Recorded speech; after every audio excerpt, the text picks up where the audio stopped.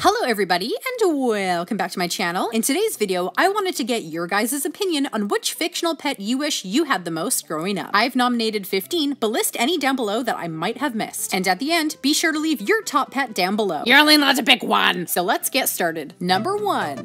Falkor from The Neverending Story. This 1984 fantasy film was adapted from the 1979 German novel, featuring Bastian Balthazar Bux as he reads his way through the adventures of a warrior named Atreyu in Fantasia, who has help from a luck dragon named Falkor. I'm a luck dragon. My name is Falkor. Falkor is friendly, helpful, wise, loyal, and has an elongated body with pink scales and long hair, sometimes resembling more of a dog with those big eyes, paws, and his love of being scratched behind his ears. Ah. Oh. Luck dragons don't have any great magical talents, but as explained in the book, they can exhale blue fire and provide incredible luck for all those around them. Number 2. Battle Cat from He Man. Let's go, Battle Cat. He Man was an animated series first premiering in 1983 based on Mattel's toy line Masters of the Universe. We follow Prince Adam, who has the ability to transform into his alter ego He Man, who defends the secrets of Castle Grayskull. Adam is accompanied by his cowardly pet Cringer, who has the power to transform into the fearless Battle Cat when He Man points his sword at his companion during his own transformation. Cringer became the mighty Battle Cat. Despite being a total coward and running at the first sight of danger, Cringer is loyal to his companion and has even put himself in danger to save his master. I, I told you before, I don't wanna go. But when transformed into Battle Cat, both his size and courage increases, turning him into an armored tiger with a saddle. He is headstrong and both eager for action and excitement. Uh, maybe she's hiding. Good thinking, Battle Cat. Number 3. Swiftwind from She-Ra. I can't wait to show you my surprise. She-Ra is the long-lost twin sister of He-Man and the main character in the 1985 series She-Ra, Princess of Power. Like He-Man, She-Ra has the ability to transform from Adora into She-Ra, and her pet companion Spirit can transform into Swiftwind, the ultimate winged unicorn. Her companion is very loyal and loving in both forms, with the power of human intelligence, the ability to communicate telepathically, and this hungry fat guy voice. I'd love to.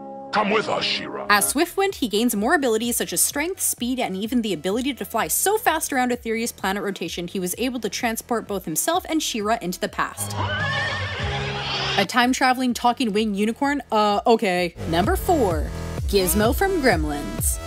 With Mogwai comes much responsibility. Gremlins was a 1984 comedy horror following the story of a father who got his son a mysterious pet called a Mogwai from a creepy Chinese man who set out three rules, even though someone broke the golden rule not to buy anything from a creepy old Chinese man. Hey, don't expose it to light, don't get this thing wet, and don't feed it after midnight.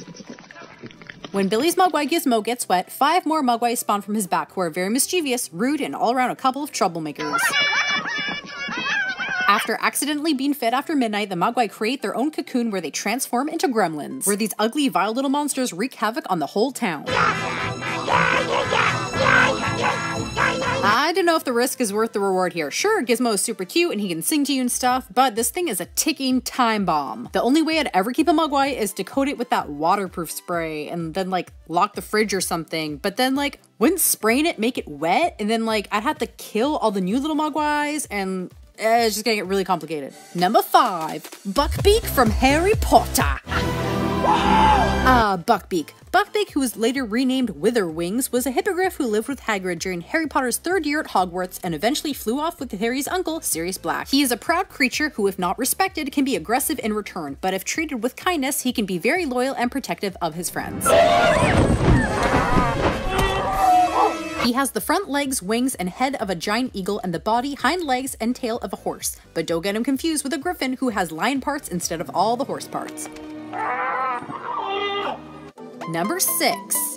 Luna from Sailor Moon. Rena, amazing! You're using your brain. This anime first premiered in Japan in 1992, and in the English version, we follow around a girl named Serena, who one day meets a cat named Luna, explaining to her she has the ability to transform into the Sailor Scout Sailor Moon, and is tasked with finding the Moon Princess. Luna is a highly intelligent purple cat with a crescent moon on her forehead who is very alert, loyal, and wise, never hesitating to put herself in harm's way to save her girls.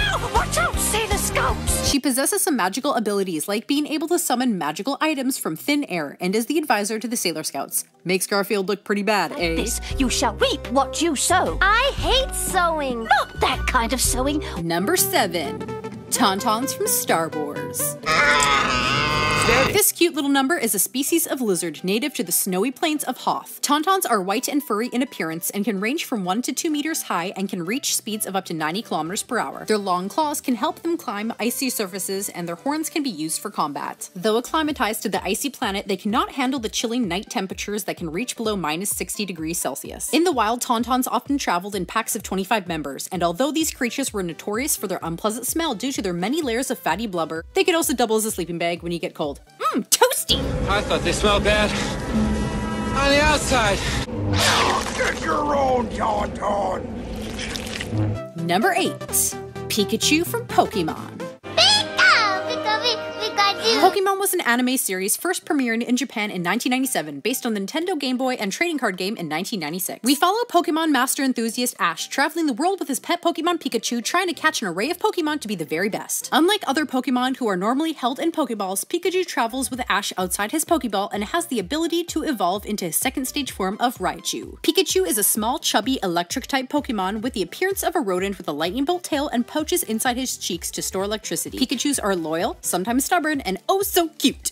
Pikachus can be found eating berries, but they are known for sometimes eating and destroying telephone poles, wires, and other electronic equipment. A Pokemon pet in general would be so sweet. Personally, I would choose Dragonite or Rapidash, Moltres. Oh god, I can't pick! And number 9. Don't want to pick up poo all day? Hate that dog smell? No money for dog food? Well, friends, do I have the solution for you? Ghost Dog! No mess, no smell, no life. Literally. Zero is Jack Skellington's ghost dog, featured in Tim Burton's 1993 fantasy musical. He has a glowing pumpkin nose and flies around like a bedsheet rustling in the wind. He is Jack's loyal companion and uses his own gravestone as a doghouse. And although he can't talk like most animals on this list, he provides no shortage of ghost cuddles. Number 10. Every week I have to squish my garbage down and sometimes I can't fit it all in there. Then I have to wait until next week to cram it all again with even more garbage to deal with. The answer? My pet monster!